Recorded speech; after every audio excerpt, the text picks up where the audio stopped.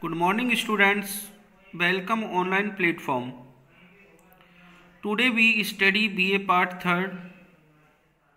W. Yeats poem A Prayer for My Daughter. First of all, we read introduction to the poet and his works. So let's start this video. W. B. Yeats was born 1865 and died 1939. W B Yeats का जन्म अठारह सौ पैंसठ में हुआ और उन्नीस सौ उनतालीस में उनकी मृत्यु हुई was born in Dublin in 1865 Dublin में अठारह सौ पैंसठ में इनका जन्म हुआ his life span is divided almost equally between the nineteen and twenty century उनकी का जो जीवन है, वो बीसवीं और उन्नीस उन्नीसवीं और बीसवीं शताब्दी में विभाजित है। He was born of protestant parents protestant parents के मतलब उनके जो माता पिता थे, वो प्रोटेस्ट पेरेंट्स थे। His father John Butler was a painter उनके पिता जो जॉन बटलर थे, वो पेंटर थे।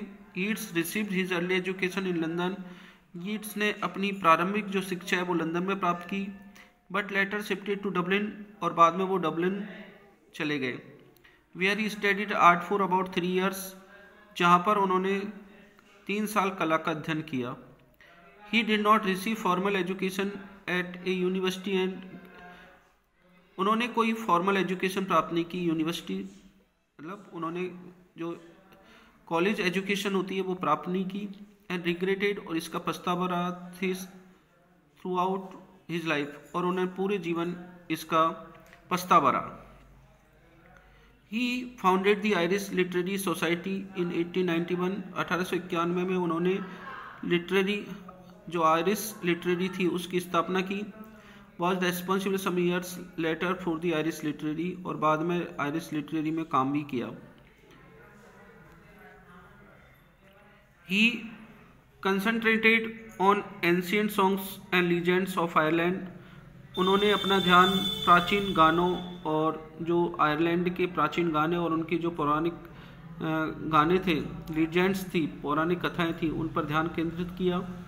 He was elected of the Senate of the Irish Free State 1922 उन्हें Free Irish Free Irish Free Senate का आयरिस फ्री स्टेट का सीनेट चुना गया 1922 से 1928 तक रहे। He was given the Nobel Prize for literature in 1921 उन्हें 1923 में साहित्य का नोबल प्राइज भी मिला। ही वॉज़ मैरिड इन 1917 उन्होंने 1917 में शादी की। ईट्स वर्क में be divided into four phases Yeats की जो कार्य हैं, उनको चार फेजों में विभाजित किया गया है। Corresponding to which we have the four stages in the development of his poetic style और वी हैव हम पाते हैं फोर स्टेज को उनकी काव्यात्मक जो शैली के विकास में।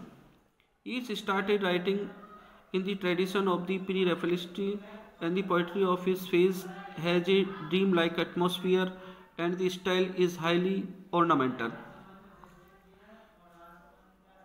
जो ईट्स है, उन्होंने started writing in tradition of pre Raphaelites pre Raphaelites की जो परंपराओं पर आधारित कहानियाँ लिखना, कविताएँ लिखना शुरू किया।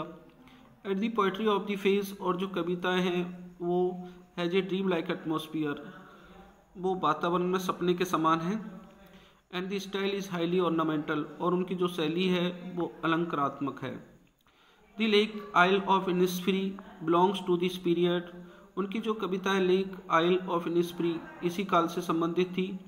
आफ्टर हिज मैरिज अपनी शादी के बाद after his marriage started the period of his interest in theosophy उन्होंने अपनी जो रुचि है, ब्रह्म विद्या थियोसॉफी होती है, ब्रह्म विद्या में शुरू किया। फ़िज़िकल फेनोमेना शारीरिक संरचना एंड मिस्टिसिज्म और रहस्यवाद इन जनरल सामान्य रूप से। सामान्य रूप से उन्होंने ब्रह्म विद्या और रहस्य, जो रहस्यवाद है, उसमें अपनी जो रुचि है, वो शुरू की। He W please on private symbolism उन्होंने अपने ही प्रतीका, प्रतीकों का प्रयोग किया। The mysticism of the East पूर्व का जो रहस्यवाद था आल्सो अट्रैक्टेड हिम उसने भी उनको आकर्षित किया। The final phase of Yeats career Yeats के कैरियर की जो अंतिम जो चरण था was mark a return of the passionate life किसकी ओर था? पैसेनेट लाइफ की ओर लौटना। ही बिगेन राइटिंग पोइम्स उन्होंने अपनी कविता लिखना शुरू किया as cold and passionate as the dawn and is last phase was mark by greater austerity और उनकी अंतिम जो फ़ेज़ है, चरण है, वो ग्रेटर ऑस्टेरिटी उनकी तपस्या, इन स्टाइल शैली में एंड ए ग्रेटर प्रिसीजन और एक बहुमूल्यता सिद्धता in the use of language भाषा के प्रयोग में। ही हिज प्लेज लाइक उनके जो निबंध हैं, जैसे काउंटेंस कैथलीन है द किंग्स थ्रेस थेरेसोल्ड है threshold and Deirdre and famous Yeats is well known for the wild swan at Coole Yeats की जो मुख्य जो कविताएँ हैं, उनमें दी विल्ड स्वान एट कूले है माइकल रॉबर्ट्स है Roberts and the dancer the tower and the winding stair his earliest verse the wandering of Oisin employed the Irish legend his other famous work उनकी दूसरी जो रचनाएँ are the wind among the reeds अठारह प्रकाशित हुई। इन the seven Wood's 1903 में, दी green हेमलेट 1910 में, responsibilities 1914 में, ए विजन 1925 में, एंड लास्ट पोइम्स उन्नीस सौ उनतालीस में। इस तरीके से अब हम जो ये कविता है, इसका इंट्रोडक्शन पढ़ते हैं।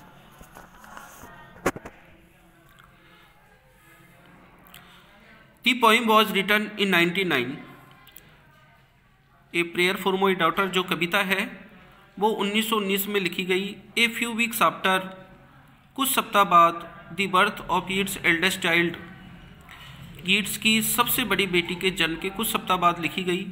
The poet had purchase the old tower और कासल एट थूर वैलियल कवि ने एक टॉवर जो ओल्ड टॉवर है, एक पुराने महल को, किले को खरीद लिया था।